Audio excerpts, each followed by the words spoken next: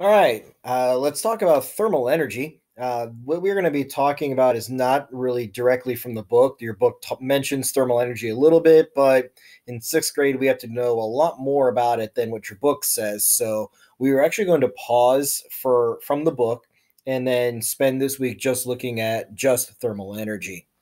So there is no book work this week, but there will be a thermal energy assignment that'll be in Google Classroom. Uh, it is called a thermal energy review or something like that. The answers must come from the video, not Google. I will know if you got your answer from Google. Thermal energy review, those answers are in the video. The questions are probably in order. The questions are worded very much like what the person actually says. Get your answers from the video. Okay. Thermal energy has a couple of rules. Um, first of all, all substances have thermal energy. End of discussion. You can't fight it. There is not a substance that doesn't have thermal energy. That is because all atoms are in some sort of motion, and that motion is what gives them their thermal energy. You cannot get an atom to sit still, and so every substance, whether it's a solid, a liquid, or a gas, it's in motion, and so it has thermal energy. Thermal energy is a total, not an average, a total of the movement of atoms in a substance. The higher that total, the more thermal energy it is. There are three different ways to give a substance a higher total, but we're going to get into that later. In theory, the only way to get an atom to sit perfectly still and therefore have zero thermal energy were to reach a temperature called absolute zero. At absolute zero, it would have zero movement. But for a very complicated reason, scientists believe that this is impossible. That doesn't mean they're not trying, they are. Um, people are winning awards for getting uh, the lowest possible temperature, but they really cannot get to absolute zero. So uh, to give you a sneak preview, uh, here's a screenshot. In 2017, um, they got the they set a record for how close to absolute zero they got. They got to within five trillionths um, of absolute zero, um, and that's about as uh, that's the new record. So if you want to win awards, um, uh, beat that. And then if you want to um, prove the impossible, uh, then go ahead and uh, figure out a way to get a substance to absolute zero, and then uh, reward Mr. Bogdan for uh, giving you the idea with uh, small tropical islands. All right. In science, word choice matters. And so we can talk about things being hot and we can talk about things being not as hot, but in science, there is no such thing as cold cold is not a thing. All right. Uh, you'll hear the word cold a lot. Um, that's because people are talking unscientifically. But in science class, we can no longer mention anything being cold. We can only talk about things having a lot of thermal energy or not a lot of thermal energy, high thermal energy and low thermal energy, but we can never say cold. Um, in the news, they will give you uh, bad examples. Um, here's a screenshot that uh, from um, that I took even just this morning, and it talks about um, a cold front moving in, and so temperatures are going to drop. And so we can see uh, 56 degrees, 41, 35. So it looks like, according to the news, that cold is moving into the area. What is actually happening is that heat is leaving the area. So cold, there is no such thing as cold. Um, I think on your uh, quiz or your practice quiz this week, there's going to be questions that mentioned cold energy. Cold energy moves in. That's not a thing. Don't pick an answer that mentions cold energy. All right. So the reason why temperatures drop is because heat leaves, not cold enters. All right. You live in only one of three countries that uses Fahrenheit. um, when we talk about it being 56 degrees outside. In fact, if we go back to here, these are all in Fahrenheit. If they were in Celsius, especially here, you'd be dead.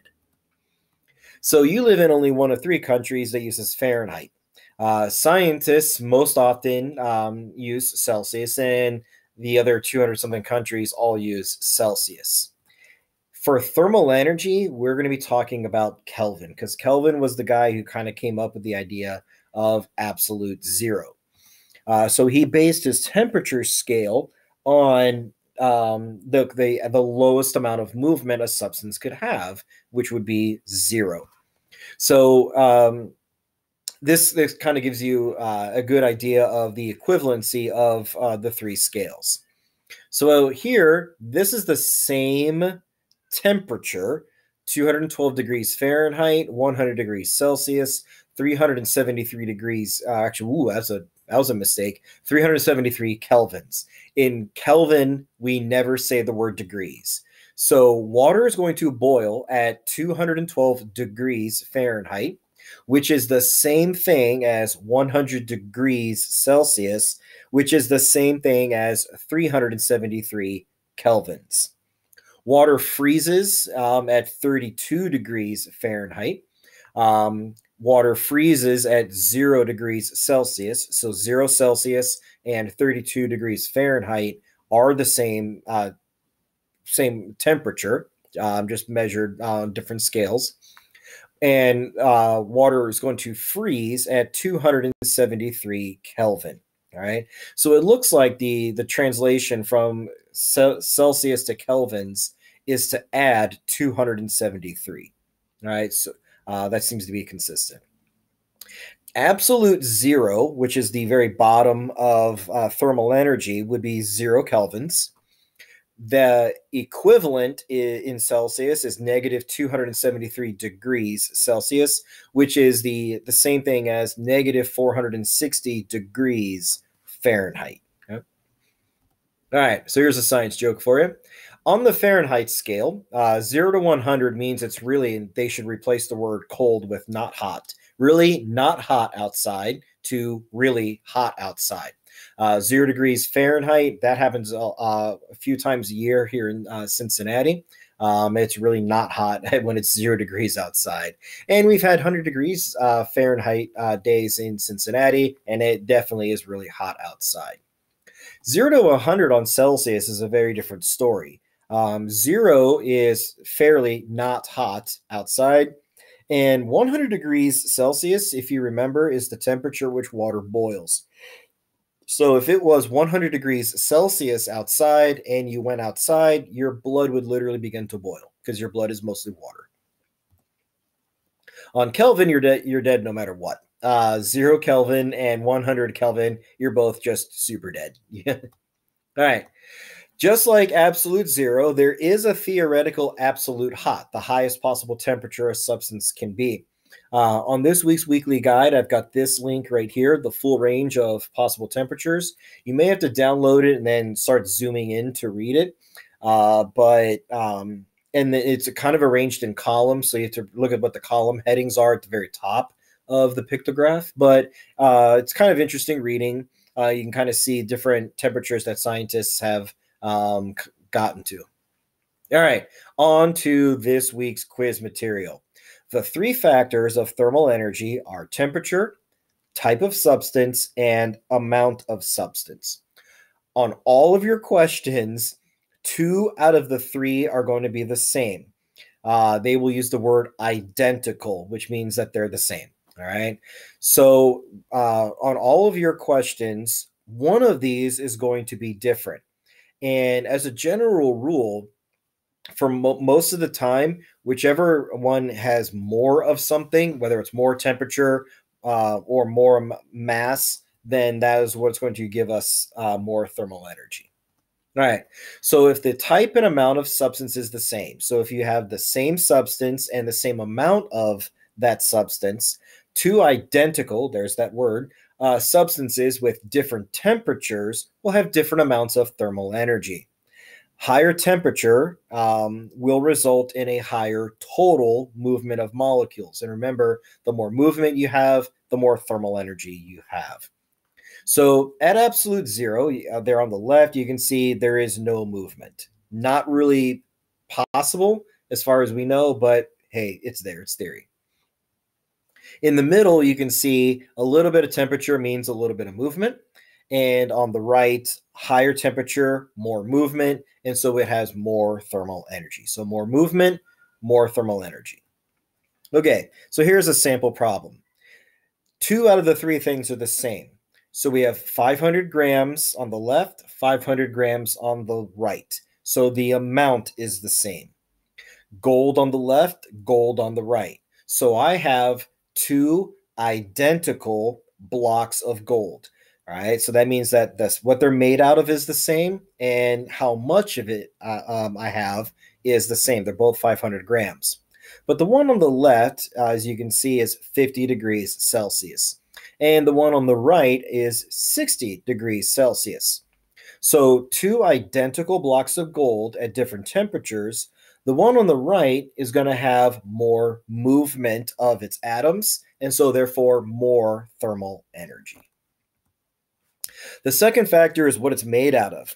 Um, in, in these problems, the temperature is going to be the same and the amount is going to be the same, but the substances will be different. And therefore, they're going to have different amounts of thermal energy.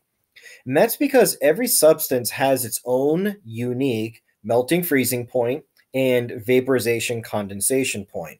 And that's going to give the substances different amounts of movements. So at the same temperature, uh, we'll say in this example 30 degrees, two substances are um, at different distances from their uh, change of point state points. So at 30 degrees, the one at gold on the left is going to be a solid, not a lot of movement. At the same temperature on the right is water, and it's a at 30 degrees, that's a liquid, which has a lot more movement. So because gold and water have different melting freezing points, they are going to have uh, different amounts of movement. So here's uh, 500 grams of gold, 500 grams of water. So the amounts are the same, 500 grams and 500 grams. And as I can see on the second line of each one, they're both at 50 degrees. But because one's a solid and one's a liquid, the liquid's going to have more movement. It's going to have more thermal energy. The third factor is how much of it you've got. So in these problems, the temperature is going to be the same and the substance that you have is going to be the same, but they're going to be at different um, amounts.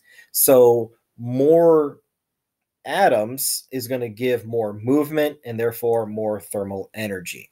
So because thermal energy is a total, more mass means um, uh, more uh, more movement.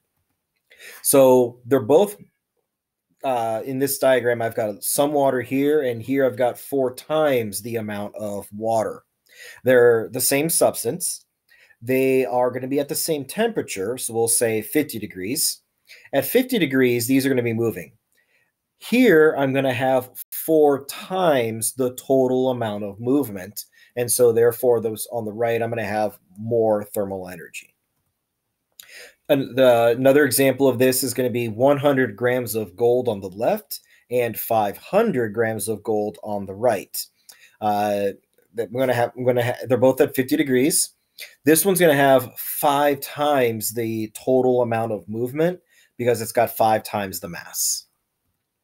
Okay, all of your all of your problems are going to have only one thing being different, but the students always ask me, what if two or three things are changed? And in real life, that's what does happen. So here's a sample problem. Which of these has more thermal energy? A 75 gram block of silver at 87 degrees Celsius, or a 120 gram instead of 75 block of gold instead of silver, and at 65 degrees instead of 87 Celsius. Well, in this situation, all three variables are different 75 and 67. I'm sorry, 75 and 120, 87 and 65. um, and silver and gold. Everything about this is different. And this is a real life example. At this point, you have to do a lot of very uh, complicated calculations using a lot of complex formulas. Luckily for you, you are in sixth grade and you are not going to be asked these kinds of questions. All right, thermal energy. Always, always, always, like end of discussion, it's a law, always moves from high high uh, temperature areas to low temperature areas. There's no way of fighting it. There's no way of reversing it. You can't make it not behave this way. If you can get thermal energy to reverse direction, you will become rich, famous, and you will buy Mr. Bogdan Tropical Islands. But for now, it's impossible. So just accept it as a rule. In all of your uh, quiz questions this week, always select the answer that has temperature going from the high area to the low area. Um, it's going to do this until both substances have the same temperature and this is called the law of thermodynamics. So if i put say a piece of cold butter on a ear of hot corn fresh off the grill or out of the oven however you cook your corn the corn has more thermal energy uh, than the butter because it's at a higher temperature. And so the thermal energy is going to move from the corn to the butter, and therefore the temperature of the corn will go down. The temperature of the butter will go up. All right, you have a gizmo that you've been working on. You've got a thermal energy uh, review to work on. That's in Google Classroom. And remember that your answers must come from the video. So uh, you should now get to work. Remember that there is no book work this week. You just have your gizmo and your thermal energy review both of which are in Google Classroom. You've got the five questions uh, from this assignment, and you'll also uh, uh, have the quiz this week, and the practice quiz will be there. So you've got plenty of stuff to keep you occupied this week. Go get them.